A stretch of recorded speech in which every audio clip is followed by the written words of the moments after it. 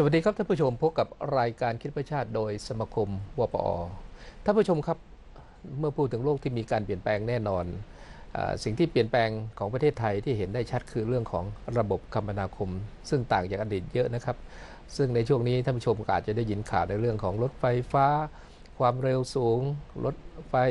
ระบบราง แล้วก็รถไฟฟ้าในเขตเมืองใหญ่ ๆ วันนี้ทางรายการก็จะมานั่งคุยในเรื่องของสาระเรื่องของมุมมองการพัฒนาระบบการคมนาคมประเทศไทยนะครับว่ามันมีทิศทางเอ่อก้าวหน้าหรือการเอ่อพลิกผันเปลี่ยนแปลงในเชิงที่เอ่ออำนวยความสะดวกให้แก่ผู้ชมผู้ชมได้ยังไง หรือว่าประชาชนทั่วไปได้ยังไง วันนี้แขกรับเชิญที่จะมาให้ความรู้ในการสนทนานะครับก็ได้แก่ดรกิรติกิจมานวัฒน์นะครับ ซึ่งปัจจุบันท่านก็เป็นประธานกรรมการบริหาร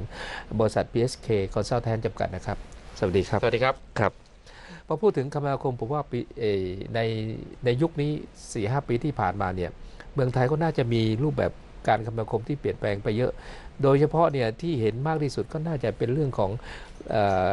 รถไฟฟ้าความเร็วสูงที่เชื่อมต่อระหว่างจังหวัด หรือว่าในเมืองใหญ่ ๆ ซึ่งมีการพัฒนาระบบรถรางต่าง ๆ ใช่ไหมครับ ใช่ครับครับคือจะเห็นว่าในช่วง 5 ปีที่ผ่านมาครับเนี่ยครับเรามีการพัฒนาระบบโครงสร้างพื้นฐานรถไฟครับระหว่างจังหวัดนี่เรียกว่าแบบก้าวกระโดด ก้าวกระโดดนคเลบยก้าวกระโดดเลยนะครับเพราะว่าอย่างนี้ครับคือจริง ๆ แล้วผมว่ารถไฟความเร็วสูง หรือว่ารถไฟทางคู่เนี่ยครับเราพูดกันมานานใช่แต่ว่าเรื่องการลงทุนเนี่ยโอ้มันมันใหญ่มากครับนะครับเพราะว่าการลงทุนรถไฟความเร็วสูงทั้งหมดนะครับอาจจะใช้ประมาณ8 0 0แสนล้านอืมรถไฟทางคู่อีกประมาณ4ี่ห้าแสนล้านครับซึ่งอันเนี้ยก็ผมว่าพูดมาตั้งแต่สมัยรัฐบาลท่านยิ่งรักษณ์สมัยครับท่านทักหรือท่านทักษิณก่ก่ออนนหหน้าน้านั้นั้นนอีอีกกครับนะฮะ แต่ว่าการจะลงทุนจริงๆเนี่ยครับก็เพิ่งจะได้เกิดผลมาเมื่อช่วงอืม4ีหปีที่ผ่านมาครับนะครับ คือตอนนี้นะครับผมมองว่าเราลงทุนเรื่องของรถไฟทางคู่ไปเยอะมากครับนะครับเราถ้าเราไปตามเอ่อเส้นทางหลักๆเนี่ยครับเราจะเห็ครันบว่าเริ่มมีการก่อสร้างอืมรถไฟทางคู่แล้วนะครับ ตอนนี้ฉะเชิงจากฉะเชิงเซาไปของ 19 ไปครับแก่งคอยครับกำลังจะเปิดให้บริการแล้วครับนะครับ แล้วก็ต่อขยายขึ้นไปเอ่อจากลบบุรีไปปากน้ำโพอืมนะครับ ต่อไปก็ต่อขยายขึ้นไปอีก หมายถึงอีกเส้นหนึ่งใช่ไหมครับเส้นใช่ครับคำว่าทางคู่เนี่ยก็คือปัจจุบันเนี่ยนะคครัรับบเอ่อก่อนหน้านี้รถไฟเรามันมี 6,000กว่ากิโลครับทั่วครับประเทศครับเอ่อประมาณ 80%เป็นทางเดี่ยวครับก็คือมีมีรางเส้นเดียว หมายว่าวิ่งสวนก็ะฮะไม่ได้วิ่งสวนไม่ได้อืมนะครับฉะนั้นก็ใช้วิธีว่าใช้สถานีครับเป็นตัวสับหลีกเอาครับนะฮะฉะนั้นรถไฟอันหนึงจอดที่สถานีอืมก็ต้องรออีกขบวนหนึ่งผ่านไปก่อน แล้วก็เอะขาเข้าถึงจะเข้ามาได้ อันนี้คือข้อจำกัดที่ทำใช่ให้การเดินทางไม่สะดวก ถูกครับ มันถึงทำให้ครับรถไฟก่อนหน้านี้เนี่ย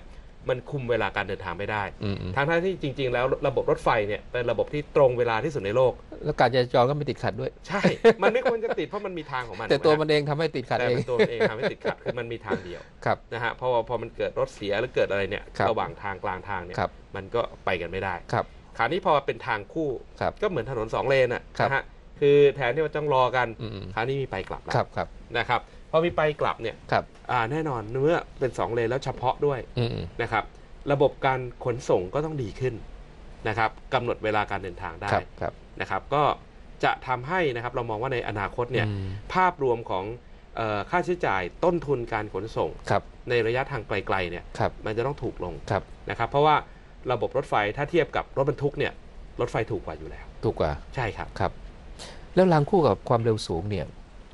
มันมีความจำเป็นจะต้องสร้างทั้งสองอย่างไหม คือเรามองว่าคนละตลาดกัน รถไฟรางคู่เนี่ยนะครับ มันเป็นพื้นฐานของระบบขนส่งมวลชนของประเทศอืมันทำได้ทั้งสองประโยชน์ ประโยชน์แรกคือขนคนครับอันนี้แน่นอนนะครับ ผู้โดยสารที่เอ่อเคยต้องเดินทางรถตู้มต้องเดินทางบกสในทางเดียวเนี่ยครับเขาไปใช้รถไฟครัทาบงคู่ได้ นะครับมันถูกครับนะครับค่าโดยสารก็ถูกนะครับแล้วก็ต่อไปคือเวลามันสั้นลงแล้ว เพราะถ้ามันไม่ต้องรอสับรางอืมอืมไม่ต้องไปรอรถเสียรถจอครัดบกำหนดเวลาการเดินทางได้ครับอะอันนี้ทำให้คุณภาพชีวิตพื้นฐานครับดีขึ้น แล้วความเร็วนี้เขาสามารถปรับให้เพิ่มเร็วได้ไหมแน่นอนครับ เพราะเป็นทางคู่เนี่ยมันปรับสปีดได้อืมอืมจากเดิมที่เราวิ่งอยู่ 5 60ครับ70ครับตอนนี้ปรับได้มากสุดถึงอืม120 กิโลเมตรต่อชั่วโมงอืม120 ก็ก็แข่งกับรถ รถรถยนต์ส่วนบุคคลได้ใช่ถูกไหมฮะตอนนี้ถึงแม้นโยบายใหม่บอก 120 ก็วิ่งได้เท่ากันเออเอออะแล้ววิ่งได้เท่ากันตลอดด้วยครับนะฮะฉะนั้น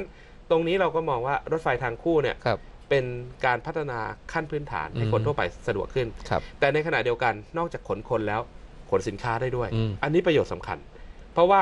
ปัจจุบันนี้เนี่ยเราค่าต้นทุนค่าใช้จ่ายการขนส่งรถบรรทุกเนี่ยเราสูงมากสูงนะครับ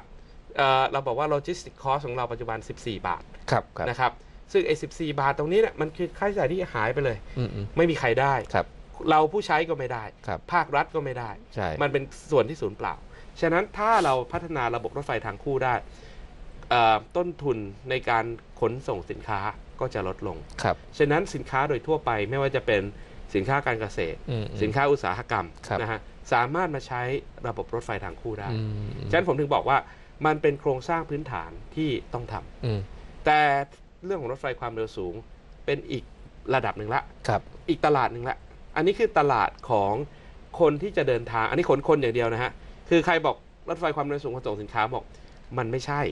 คือมันใช่เฉพาะสินค้าที่เป็น high value อืมเท่านั้นแต่ไม่มีใครเอาตู้สินค้าหลักๆ เลยไปใส่กับรถไฟความเร็วสูงเนี่ยไม่ใช่ครับนะครับคราวนี้รถไฟความเร็วสูงที่จะขนคนที่เป็นอ่าอีกระดับหนึ่งคือการเดินทางที่เป็นต้องการความเร็ว ต้องการเวลาที่กำหนดได้นะครับ แล้วก็ไปแข่งกับตลาดของสนามบินครับก็คือไปแข่งกับ low cost airline สนามบินในประเทศต่างเพิ่มทางเลือกๆเพิ่มทางเลือกการเดินทางครับนะครับ ซึ่งมันก็มีตลาดของมัน เพราะอืมจะเห็นว่าปัจจุบันกรุงเทพนครราชสีมาครับ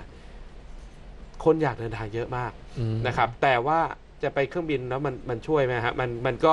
เครื่องบินมันต้องไปรอที่สนามบินใช่ถูกไหมครับใช่ต้องรอเช็คจากอินบ้านไปต้องสนามบินรอเช็คอิน ก็คือ ขาไปเนี่ยครับรอละสองชั่วโมง ครับ ขากลับกว่าจะลงเครื่องกว่าจะโน่นอีกชั่วโมงหนึ่งครับระหว่างเดินทางอีกครึ่งชั่วโมง กลายเป็น 3 ชั่วโมงครึ่ง อืมฉะนั้นไม่เกิด saving ครับ ก็คนก็ต้องขับรถอยู่ดี ครับ จากกรุงเทพไปนครราชสีมาหรือกระทั่งขอนแก่นก็ตามอืมแต่ถ้าเรามีรถไฟความเร็วสูง ครับ บอกกรุงเทพนครราชสีมา ลดเวลาการเดินทางลงอืม นะครับ จาก 3 ชั่วโมงครึ่งตรงเนี้ยเหลือชั่วโมงครึ่งครับ เหลือ 2 ชั่วโมง ครับ ผมว่าคนจะเปลี่ยนรูปแบบการเดินทางทันที นะฮะเนี่ยคือจุดที่รถไฟความเร็วสูงเนี่ยได้เปรียบ แบบนี้นะครับรูปแบบเมืองก็จะเปลี่ยนไหม เพราะว่าการเดินทางที่เร็วขึ้นเนี่ยไม่จำเป็นต้องมาอยู่กรุงเทพ การเดินทางเนี่ยสามารถไอความรวดเร็วช่วยให้เราอยู่ที่ไหนก็ได้ ถูกครับ ก็จะทำให้นะครับคือมันมันเป็นการเปลี่ยนที่ไม่ใช่แค่เรื่องของว่าเดินทางสะดวกละครับมันเป็นแง่ของความเท่าเทียมกันทางเศรษฐกิจสังคมอืมว่าคนที่เขาครับอยู่นครสวรรค์ครับอยู่นครราชสีมาครับ อยู่อ่าประจวบครับ สามารถเลือกว่าเขาเดินทางเข้ากรุงเทพได้เหมือนกันอืมนะครับ ชั่วโมงครึ่งพี่กับผมรถติดตอนเช้าก็ชั่วโมงครึ่งเหมือนกันพอๆเลยนะพอๆกันนะฮะฉะนั้นถ้าเขาวางแผนชีวิตดีๆเนี่ยครับเขาสามารถใช้ชีวิตที่ต่างจังหวัดได้ครับนะครับอ่าเปิดโล่งมากขึ้นอยู่อืมชีวิตแนวราบอืมอืมแทนที่จะไปอยู่ชีวิตอืมแนวตั้งในกรุงเทพมหานครครับฉะนั้นตรงนี้ก็เป็นการเปิดทางเลือกให้ครักับบประชาชนครับว่าเอ่อเขาสามารถที่จะอืมเลือกอยู่ทางต่างจังหวัดได้ครับ ซึ่งตรงนี้ก็จะเป็นการนำเอาครับการพัฒนาทางเศรษฐกิจไปสู่ต่างจังหวัดนะครับรถไฟความเร็วสูงเนี่ยเอ่อสามารถสร้างเมืองใหม่ให้เกิดได้เยอะแยะไหมใช่ครับ ก็เราเห็นตัวอย่างในต่างประเทศครับเยอะแยะมากมายนะครับ อย่างของญี่ปุ่นเนี่ยเวลาไปสร้างรถไฟความเร็วสูงทีหนึ่งเขาก็จะเรียกเป็นเมืองใหม่ของสถานีนั้นๆ อย่างเช่นอืมมีชินโยโกฮาม่า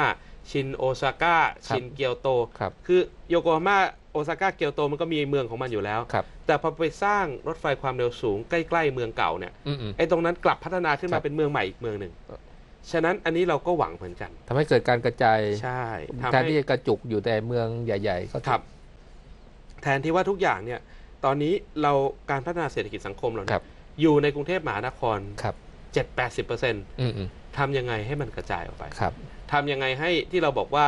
เมืองนครราชสีมาเนี่ยเป็นเป็นเมืองอันดับ2ของประเทศเนี่ยอืมทำยังไงให้เขาเป็นอันดับ2ได้อย่างแท้จริง ครับ เป็นทางเลือกว่าครับ โรงงานต่างอืม ๆ หรือว่าห้างร้านบริษัทต่างๆเนี่ยครับอยู่นครราชสีมาก็ได้ อืมอืมแต่มีทางเลือกในการเดินทางเข้าครับ นะครับนครสวรรค์พิษณุโลก ระยะทางใกล้เคียงกัน อันนี้คืออยู่ในเรนจ์ที่รถครัไฟบความเร็วสูงครับทำได้ ถ้ารถระบบรถรางก็ดี รถรางคู่ก็ดี รถไฟฟ้าความเร็วสูงก็ดี ถ้าประเทศไทยเอ่อระบบสองระบบนี้เกิดความแข็งแรงขึ้นเนี่ยครับบทบาทของเอ่อถนนเนี่ยจะหายไปหรือเปล่า คือเรามองอย่างนี้ว่าถนนเนี่ยนะครับมันไม่ได้ลดบทบาท คือคนใช้ถนนผมมองว่าต่อให้สร้างรถไฟความเร็วสูงอย่างไรอืมก็ตามเนี่ย มันก็ยังใช้กันอยู่เยอะนี่แหละครับ แต่ทำยังไงให้ไม่ให้มันเพิ่มมากขึ้นไปกครัว่าบนี้ครับ คือตอนเนี้ยเราเน้นไปที่การพัฒนาเอ่อ รถยนต์มาตั้งแต่สมัย 30-40 ปีก่อนอืมพัฒนาระบบรถยนต์มาโดยตลอดครับสร้างถนนครับสร้างทางด่วนครับแต่เราพิสูจน์ให้เห็นแล้วว่า ยิ่งเราสร้างปัญหามันไม่ได้หายไปไหนเลย ปัญหาสิ่งแวดล้อมก็ตามมามัด้นวยมันอยู่ที่เดิม แล้วปัญหาสิ่งแวดล้อมกลับกลับตามเข้ามาเออนะครับ ฉะนั้นเราทำยังไงให้ไอการก่อสร้างตรงนี้เนี่ยครับมันเกิดประโยชน์กับประชาชนอย่างแท้จริงครับนะครับ ฉะนั้นถ้าถามว่าเอ่อ รถบนถนนยังอยู่ไหมมันก็ยังอยู่เพราะยังมีคนที่เลือกที่จะขับรถอยู่ แต่ในขณะเดียวกันมีคนที่เขามีทางเลือกมากขึ้น ว่าเขาต้องการที่จะใช้รถไฟความเร็วสูงนะ ผมนั่งจากกรุงเทพเนี่ยนะครับไปพัทยาผมไม่ต้องขับรถเข้ามอเตอร์เวย์ผมนั่งรถไฟความเร็วสูงไป แล้วเสร็จปุ๊บคราวนี้พอไปถึงพัทยาปุ๊บอะภาครัฐต้องต่อให้ผมละ ว่าผมไปถึงแล้วผมจะไปหาดยังไง ผมไม่โดนโขกเรียกค่าโดยสารแพงๆสามร้อยห้าร้อยเพื่อไปโรงแรมผม แล้วเขาไปยังไงต่อ ตรงนี้ก็เลยมามามาอยู่ที่แผนภาครัฐในเรื่องของการพัฒนาระบบขนส่งมวลชนในเมืองใหญ่อืมนะครับที่จะมีรถไฟความเร็วสูงครับ ซึ่งตอนนี้กระทรวงคมนาคมก็มีแผนชัดเจนอืมอืมนะครับว่าตัวเมืองใหญ่ ๆ นะครับ ยกตัวอย่างเช่น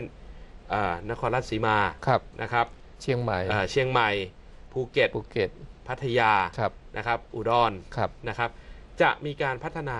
ระบบ ขนส่งมวลชนขึ้นมาอืมนะครับหมายถึงว่าเป็นเอ่อล้อกับไปกับกรุงเทพมหานคร ใช่ครับ ใช่ครับคือคนเราเพราะว่าเวลาเราคิดการเดินทางเนี่ยครับเราต้องคิดให้ครบทุกทุกโหมดถูกครัไหมฮะครับคือถ้าบอกว่าเขาขึ้นรถไฟความเร็วสูงก็ตาม ขึ้นรถไฟทางคู่มาจากกรุงเทพมหานครแล้วเนี่ยครับทำยังไงเขาจะเดินทางต่อได้อืมอืมนะครับ ฉะนั้นตอนนี้กระทรวงคมนาคมก็เลยคิดพัฒนาระบบที่เราเรียกว่าระบบแทรมขึ้นมาแทรมแทรม แทรมเนี่ย แทรมมันต่างกับคำว่ารถรางทั่วไปยังไง เอาจริง ๆ คือมันไม่ได้ต่างครับ มันมันก็คือรถรางนี่แหละอ่าเพียงแต่ว่าในสมัยก่อน โอ้ครับยนานละครับเราเคยมีรถรางกันอยู่ 30 ปีก่อนอ่าที่ใช่บไหมนฮะอยู่บนพื้นถนนวิ่งใช่ต่อยู่บนๆพื้นถนนนะฮะซึ่งตอนนั้นเอ่อคนใช้รถก็บอกว่าโอ้มันวิ่งช้าอ่ามันเกะครับกะครับมันไม่มีประสิทธิภาพครับแล้วก็ไปยกเลิกทิ้งอืมอืมแต่ว่า ถ้าเราไปดูในยุโรปหรือว่าในญี่ปุ่นในสหรัฐอเมริกาครับหลาย ๆ เมืองที่เขามีรถรางเนี่ยเขาก็เดินกับมันต่อว่าอะมันขนคนนะไม่ได้ขนอืมรถอย่างเดียวครับฉะนั้นทำยังไงให้แทรมมันดีขึ้น ซึ่งปัจจุบันโอ้ถ้าเราไปดูหน้าตารถแทรมในปัจจุบันนะครับ มันมันจะทันบอกสมัยโอ้มันทันสมัยนะครับขนคนได้เยอะหนึ่งขบวนเนี่ยขนคนได้ 400 คนครับนะครับ ไปดูภาพภายในของตู้รถเนี่ยโอ้มันน่าใช้เหลือเกินครับนะครับ มันทำให้ คนรู้สึกว่ามันเป็นระบบขนส่งมวลชนที่เป็นมิตรกับผู้โดยสารอะอืมอืมเพราะมันวิ่งระดับดิน เราเดินเดินอยู่ริมถนนเราก็เห็นระบบแทรมวิ่งมาจอดปุ๊บเราก็เดินขึ้นไปครับเอาตั๋วไปจ่ายจ่ายเสร็จปุ๊บก็นั่งรถแล้วก็ไปต่อได้ ซึ่งตรงนี้เนี่ยมันดีกับภาพลักษณ์ของเมืองอืมคือคนเนี่ยสามารถใช้ได้ง่ายนะครับ แล้วก็ดีในแง่ของนักท่องเที่ยวด้วย จัดระเบียบเมืองได้ด้วยใช่ครับ จัดระเบียบเมืองได้อืมนะครับว่านักท่องเที่ยวมาเนี่ย โอ้โหเขากลัวเหลือเกินว่าเขาจะเดินทางยังไงครับเขาจะถูกหลอกไหมอืมเขาเขาเออไปเที่ยวแล้วเนี่ยเขาจะไปต่อยังไงอ่าแต่ถ้ามีระบบที่มันชัดเจนครับอย่างแทรมขึ้นมาเนี่ยนักท่องเที่ยวก็สะดวกอืมอืมนะครับ ซึ่งตอนนี้โครงการที่จะนำร่องของภาครัฐเนี่ยก็คือแทรมที่ภูเก็ตภูนะเก็ตครับ 50 กิโลเมตรอ๋อจากสนามบินเข้ามาที่เอ่อตัวเมืองภูเก็ต แล้วก็ไปที่เอ่อฉลอง อ๋อ แบบนี้นักท่องเที่ยวก็สะดวกขึ้นเยอะ ใช่ครับ ใช่ครับ เพราะว่า เราก็เห็นนะครับว่าสภาพปัจจุบันเนี่ยครับนักท่องเที่ยวเนี่ยเขามาแล้วเขาไปต่อไม่ได้อืมฉะนั้นทำยังไงให้เราต้องมองว่านักเทรนด์นักท่องเที่ยวตอนนี้มันเริ่มเปลี่ยนอืมจากนักท่องเที่ยวที่มาเป็นกลุ่มที่มาเป็นรถทัวร์ครับเริ่มเป็นนักท่องเที่ยวที่เราเรียกว่าเป็นเดี่ยวเดี่ยวอืม individual มากขึ้นครับแล้วผลการศึกษานี่ชัดเจนนะครับว่านักท่องเที่ยวเดี่ยวเนี่ยความความสามารถในการจ่ายเขาเนี่ยมันมากกว่านักท่องเที่ยวเป็นกลุ่มด้วยซ้ำแต่เราจะทำยังไงที่เราจะดึงนักท่องเที่ยวเดี่ยวๆเหล่าเนี้ย เข้ามาได้มากขึ้นครับนะฮะซึ่งสิ่งเดียสิ่งสำคัญเลยสำหรับเขาก็คือเขามาแล้วเขาต้องเดินทางได้อย่างปลอดภัยอืมแล้วก็รู้สึกว่าสะดวกสบายคือไม่มีความระแวงครับนะฮะถ้าฉะนั้นถ้ามันมีระบบที่ชัดเจนว่าครับอ่ามาถึงก็จะต่อแทรมได้ครันะบไปถึงปุ๊บเข้าเมืองได้ครับนะฮะแล้วเสร็จปุ๊บโรงแรมมามีรถรับอืมมีอะไรต่างๆ มันก็เกิดความสะดวกสบายหมายถึงการเอ่อก่อนที่ก่อสร้างการศึกษาเนี่ยเจาะลึกไปถึงพฤติกรรมของนักท่องเที่ยวรูปแบบนักท่องเที่ยวด้วยเหรอครับ ใช่ครับใช่ครับ เพราะว่าเราต้องดูว่าไอ้แทรมที่เราจะสร้างมาจะตครัอบบโจทย์อะไรอ่าถูกไหมฮะคือเราตอบโจทย์ว่านักท่องเที่ยวต่างชาติครับอ่าเพราะภูเก็ตเนี่ยครับเรื่องการท่องเที่ยวอันดับหนึ่งของประเทศไทยอยู่แล้วครับฉะนั้นทำยังไงที่จะให้นักท่องเที่ยวเนี่ยครับเขาเกิดความสะดวกแล้วเขาดึงดูดใจเขาในการครับที่จะเดินทางเข้ามาภูเก็ตครับ นะครับแต่พอพูดถึงการลงทุนแน่นอนว่าการลงทุนต้องใช้เงินจำนวนมากเนี่ยครับอย่างนี้เรื่องค่าโดยสารเนี่ยมันจะไปเอ่อสามารถที่จะหรือว่าแพงกว่ารถโดยสารในท้องถิ่นหรือเปล่ารถยนต์รถอะไรต่างคือปัจจุบันนะฮะก็เอ่อค่าโดยสารเนี่ยๆครับก็รัฐก็พยายามวางว่ารัฐช่วยออกในส่วนในส่วนการก่อสร้างโครงสร้างโยธาอืมนะครับแล้วให้เอกชนเนี่ยเข้ามาลงทุนเฉพาะส่วนคขรับองงานระบบครับฉะนั้นค่าโดยสารมันก็ถูกลงครับตอนนี้แคปอยู่ประมาณ 150 บาทอืม จากสนามบินมาหมายว่าภูเก็ตตลอดทั้งสาย 150 บาท เออมันก็เป็นตามระยะทางเอาระยะแต่ว่าทางสูงสุดเนี่ย150สูงสุดคือ150นะครับครับ ฉะนั้นถ้าบอกว่าจากเอ่อสนามบินภูเก็ตนะครับ เข้าเมืองเนี่ยปัจจุบันเนี่ยประมาณ500อืมอืมถ้าโดยทั่ว ๆ ไปนะโอ้ห้าร้อยเลยห้าร้อยแต่พี่โดนโค้งที่หนักกว่านี้อีกนะฮะฉะนั้นทำยังไงเออให้คนที่เขาเดินทางจากสนามบินเข้าเมืองเออเขาสะดวกแล้วเขา มีค่าเดินทางที่ชัดเจนอืมอืมนะฮะครับตรงเนี้ยเป็นจุดสำคัญ อย่างน้อยก็ทำให้ภาพลักษณ์ของเอ่อไอ้ผู้ประกอบการดีขึ้นแทนที่จะไปเอ่อโขกสับราคาของนักท่องเที่ยวต่างชาติใช่ก็จะหายไปครับครับเอ่อพูดง่ายๆว่าตอนนี้เนี่ยไอ้ระบบการคมนาคมเนี่ยมันสร้างการเปลี่ยนแปลงแน่นอนเนี่ยเอ่อคิดว่าเอ่อไอ้ภาพทั้งหมดเนี่ยเอ่อความสมบูรณ์เนี่ยต้องใช้ระยะเวลาอีกนานไหมครับ อันนี้ก็ อาจจะต้องใช้เวลานิดหนึ่งคือของภูเก็ตเนี่ยจะเป็นนำร่องะคบนำร่องเราก็คาดว่าต้นปีหน้าครัจะบน่าจะสามารถเริ่มครับประมูลได้ครับนะครับ ประมูลเสร็จปลายปี เริ่มก่อสร้างครับใช้เวลาก่อสร้างประมาณ 4 ปีแทรมนี้สร้างเร็วกว่ารถรางที่จะต้องมีตอหม้อเสาสูงอะไรหรือเปล่าเอ่อแทรมเนี่ยมันสร้างเร็วกว่ารถไฟหนัก ในแง่ที่ว่ามันไม่ต้องสร้างโครงสร้างเอ่อยกระดับหรือโครงสร้างครับใต้ดินครับนะฮะคือโครงสร้างยกระดับปกติเราใช้เวลาประมาณ 3 ปีครึ่ง นะครับอืมในการจะก่อสร้างเสร็จครับครับเอ่อถ้าเป็นโครงสร้างใต้ดินนี่ประมาณ 5 ปีครับอย่างสายสีส้มเนี่ยโอ้โหตอนนี้ก่อสร้างใช้เวลานาน พี่น้องตรงรามคำแหงก็คงทราบกันดีนะฮะถ้าเป็นระบบแทรมนะคครัรับบเนื่องจากว่ามันเป็นการวางรางบนระดับดินครับมันครับก็เริ่มกระบวนการก็คือปรับผิวการจราจรครับแล้วก็วางรางครับนะฮะแล้วก็วางระบบต่างๆเนี่ยครับการก่อสร้างเร็วครับใช้เวลาประมาณ 2 ปีครึ่งถึง3ปีอืมนะครับ ฉะนั้นก็คาดว่าถ้า ปี 63 เราได้ผู้รับสัมปทาน ครับ ภายในปี 6566 เนี่ยก็ได้ใช้แล้วน่าจะเริ่มได้ครัเห็บนระบบแล้วครับครับ อย่างบางเส้นทางอย่างภาคตะวันออกเนี่ยเอ่อที่มีการประมูลเรื่องของความเร็วสูงจากอ่าสามสนามบินครับแล้วมีการออกแบบมีการริงก์ต่ออย่างอย่างพัทยาเป็นเมืองท่องเที่ยวเนี่ยครับอ่าการดีไซน์การออกแบบมันมีมีการลิงก์ไหมครับว่าไอ้ตัวไอ้ตัวฟีดเดอร์เข้าพัทยาหรือการมีเดินทางมีครับ ตอนนี้เนี่ยเทศบาลเมืองพัทยาก็กำลัง วางแผนในการครับที่จะออกแบบระบบแทรมครับครับเชื่อมจากรถไฟความเร็วสูงมาที่เอ่อเมืองพัทยาอืมนะครับ ก็มีวางแผนว่าจากรถไฟความเร็วสูงเนี่ยวิ่งเข้ามาพัทยาเหนือครับครับนะครับเสร็จแล้วก็วิ่งผ่านหน้าหาครัดบครับนะฮะแล้วก็ไปผ่านตรงถนนคนเดินอืมแล้วไปสิ้นสุดที่บาลีไฮครับนะครับซึ่งอันเนี้ยก็จะตอบโจทย์อืมอืมคนที่อยากเดินทางว่าครับถ้าจากกรุงเทพคิดว่าอยากเที่ยวพัทยาเนี่ยอืมนะครับปัจจุบันอย่างเดียวเลยคือขับรถ ถูกไหมใช่ฮะใช่ คือวันเนี้ยถ้าผมชวนกันพรุ่งนี้บอกไปพัทยาก็ต้องขับอย่างรถ เดียวเลยขับรถ แล้วถ้ามันเป็นหยุด 3 วันอย่างที่ครับ ผ่านช่วงเอ่อสิงหา 12 สิงหาเนี่ยนะฮะ ครับโอ้โห ขากลับเนี่ยสี่ห้าชั่วโมง โอ้สาหัส สาหัส แต่ถ้าเกิดบอกว่าเรามีระบบรถไฟความเร็วสูงทางเลือก นะครับมีทางเลือกออกจากมักกะสันเนี่ยใช้เวลา 40 นาทีถึงครัพับทยาละ ครับ จากพัทยานั่งแทรมต่อ ครับอีก20 นาที ชั่วโมงหนึ่งถึงโรงแรม ครับ พี่จะขับรถไหมอืมอืมเอ่ออาจจะคิดว่าเอออาจจะไม่ขับละอืมนะฮะแล้วตรงเนี้ยมันเป็นจุดสำคัญ เพราะว่าครับตอนนี้เมืองพัทยา ถ้าพูดถึงหน้าไฮซีซันจริง ๆ นะฮะครับเต็มเต็มคำว่าเต็มคืออะไร ไม่ใช่โรงแรมเต็มอืมแต่ถนนมันเต็ม คนขับรถเข้าไปเนี่ย ในเมืองพัทยาใช้เวลาเดินเต็มทางเฉลี่ย30-40นาทีเต็มไปด้วยรถในเมือง เพราะถนนมันเต็มเนี่ย คือความสามารถในการรับนักท่องเที่ยวมันก็จำกัดเอ่อแต่ถ้าเมื่อไหร่เราเคลียร์ค รับอ่ารถออกไปได้ครับ เราก็รับนักท่องเที่ยวได้เพิ่มครับขึ้นฉะนั้นอันเนี้ยมันมีผลโดยตรงครับกับการพัฒนาเมืองครับนะครับ แล้วในขณะเดียวกันเนี่ย เมืองก็จะน่าอยู่มากขึ้นอืมอืมคือถ้าถนนมันโล่งๆเนี่ยครับพี่ก็อยากเดินครับเราไปปรับทางเท้าให้มันดี ใช่ไหมฮะความปลอดภัยก็ดีอ่าความปลอดภัยก็ดี คนก็เริ่มรู้สึกอยากท่องเที่ยวครับเมืองก็จะน่าท่องเที่ยวมากขึ้นครับแต่แล้วถ้าเราไปอาศัยรถอย่างเดียว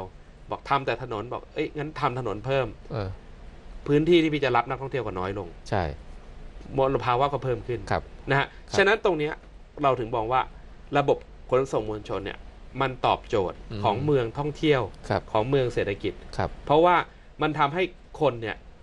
อยากไปแล้วเขาพักผ่อนอืมนะครับ เราไปดูเมืองต่างๆ ในในยุโรปเนี่ยครับกลางเมืองที่เป็นเมืองท่องเที่ยวต่างๆเนี่ยเขาห้ามรถเข้าด้วยซ้ำนะฮะเพราะว่าเขารู้แล้วว่า รถเนี่ยมันพาคนเข้าไปที่โรงแรมได้ก็จริงอืมแต่หนึ่งคันมันพาไปได้หนึ่งคนครับแต่แทรมหนึ่งขบวนมันพาไปได้ 400 คนอืมแล้วมลภาวะมันก็ต่างกันครับมลภาวะจากรถ 400 คันอืมกับแทรมขบวนหนึ่งซึ่งใช้ไฟฟ้าครับมันก็ต่างกันอืมฉะนั้นตรงเนี้ยถ้าเราจะก้าวก้าวกระโดดขึ้นไป ไปเป็นเมืองระดับโลกเนี่ยเราต้องทำละอืมอืมครับก็พูดง่าย ๆ ว่าเอ่ออนาคตประเทศไทยเนี่ยเอ่อ ถ้าเมืองใหญ่ ๆ เกิดขึ้นเนี่ยระบบทรัมก็จะเป็นหนึ่งบทบาทที่จะมาช่วยเรื่องของการคมนาคมในเมืองใหญ่ ๆ ที่เกิดขึ้นใช่ครับครับโอ้เสียดายกำลังคุยสนุกเวลาก็ถูกขโมยอีกแล้ว ไม่ทราบท่านดรกิรติเอ่อเอ่อพอฝากเอ่อมุมมองหรือทิศทางเอ่อการคมนาคมของประเทศไทยที่จะมีการบริการท่านผู้ชมได้มากขึ้น เช่นเลยครับครับสิ่งที่อยากจะฝากไว้นะครับก็คือในเรื่องของอาการพัฒนาในอนาคตว่าเราต้องช่วยกันสนับสนุนคือในในแง่ของ ประชาชนเนี่ยต้องช่วยกันสนับสนุนภาครัฐ ในเรื่องของว่าส่งเสริมให้รัฐเองเนี่ยช่วยกันลงทุนในเรื่องของระบบโครงสร้างพื้นฐานด้านคมนาคมนะครับ เพราะว่าถ้าไม่มีเสียงสนับสนุนจากประชาชนเนี่ยรัฐก็เดินลำบาก ฉะนั้นผมยังมองว่าระบบขนส่งมวลชน ตอนก่อสร้างก็ตามตอนจัดหาพื้นที่เนี่ยเราอาจจะมองว่ากระทบกับประชาชนบ้าง แต่ผมมองว่าในเพื่อประโยชน์ในภาพรวมเนี่ยเราจำเป็นครับ เพราะเราเดินกันแบบปัจจุบันเนี่ยเราเดินไปตลอดไม่ได้